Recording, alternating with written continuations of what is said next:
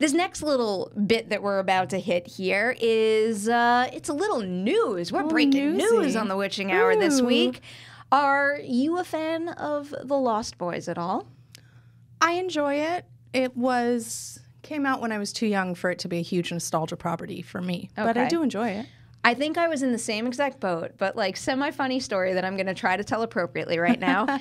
um, when I went to undergrad, my first year, you know how you could do like the random roommate thing? Mm-hmm. So I'm like, I'm going to have the full college experience and have a random roommate. And I did. And the two of us did not get along very mm-hmm. well. The one thing, the only thing over the course of my first year of college that ever brought us together was her passion for the Lost Boys. Oh, wow. And she insisted I watched it, and I did, and I wound up loving it. And ever since then, I've watched it repeatedly. But it's just like I immediately, every single time the Lost Boys comes up, I immediately go back to that, uh, you know, that semi unpleasant experience I had in freshman dorms at NYU. Well, my college story about the Lost Boys is that I went to college in Santa Cruz, which is where they shot the damn thing. So there are Lost Boys vacation or des.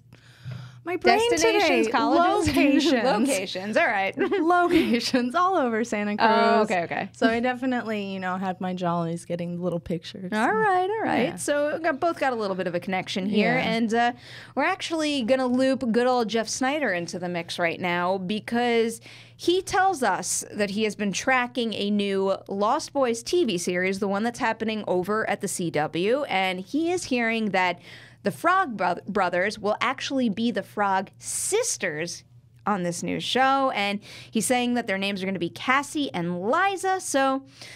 I I find that pretty interesting. Haleigh, what what does this make you think? It sounds exactly like the CW. It's exactly the kind Mm-hmm. of thing they like to do when they bring back a new or an old property and do something new with it. Um, yeah, I think it's. I sure why Yeah. not? I mean, it's perfect for their audience. They're gonna probably eat that up, and it's sort of you know they they do they like to update the material when they update the material. yeah. Mm-hmm. You know, Charmed they made it a biracial family, and they're it's it's great. I'm my biggest concern is is, it- is it going to be any good?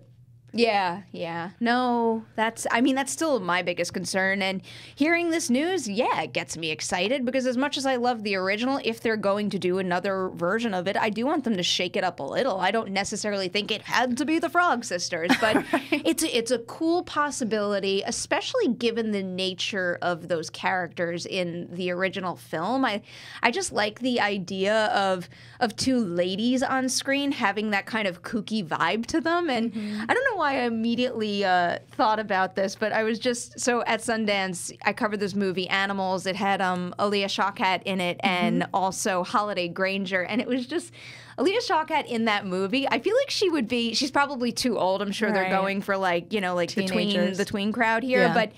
She would have such a good vibe as one of the Frog Sisters. That would be great. Yeah. I wouldn't be mad at that. I know, the other reason I think that it really makes sense and um you know, I not just because they like to update the material, but because they have a what is it, 15 seasons now of Supernatural, which are brothers who hunt supernatural creatures. Good point. Thank I you. like that. No, I like that. And you know, obviously Supernatural has like this this wildly uh, dedicated fan Oh base gosh, I and you know, I, think it's about time for them to spark another thing that has that same level of dedication, even beyond obviously all the superhero shows. But I, I wouldn't mind seeing, you know, especially especially if they're front and center because i think that's the other question. If we're so focused on the frog sisters i mean is this show their show? Mm-hmm. Or is it from you know the other characters that we had in the original I don't know. It's a good question. I'm sure it'll be pretty different. Uh, just to reference Charmed again, because I did watch a few episodes of their new version. Like, they kept the core elements. Mm-hmm. Like, their mother died, and they have to come together as sisters to find their power. And they have a white lighter who watches over them. Yeah, but they yeah. changed everything about it. Like, the sisters are completely different. The white lighter is a little like, is he a good guy? Is he Hmm. a bad guy?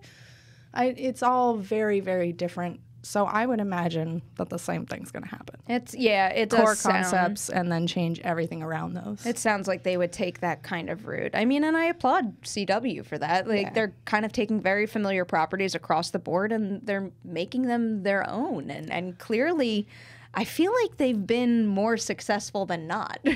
Usually, yeah. I mean, it's been a minute.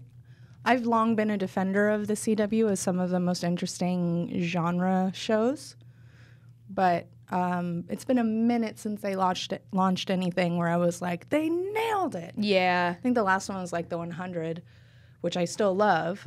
I need to watch that. I've heard over and over again how much I would love that show, and it's just It's like good. not enough hours in the day. It's like pizza peaks and troughs of quality, but uh, when it's good, it's really good. I was trying to look up one of the most uh, recent reports regarding uh, regarding the Lost Boys series, and uh, it looks like it came from from Deadline in January, about three weeks ago, and uh, they they basically are saying that it looks like it was it was picked up. They put in a, an order for the pilot, so th- hmm. that basically doesn't surprise me that we're Oh casting right now. they put in an order for like three pilots, right? That was one of them, I believe so. Yeah, and oh, the Jane the Virgin spinoff and Riverdale spinoff. Yeah, it- looks like uh, the synopsis that they have here with the article I'm looking at is the uh, is the original movie. So I don't think we have any details other than the Frog Sisters now Right regarding what the story is going to be. But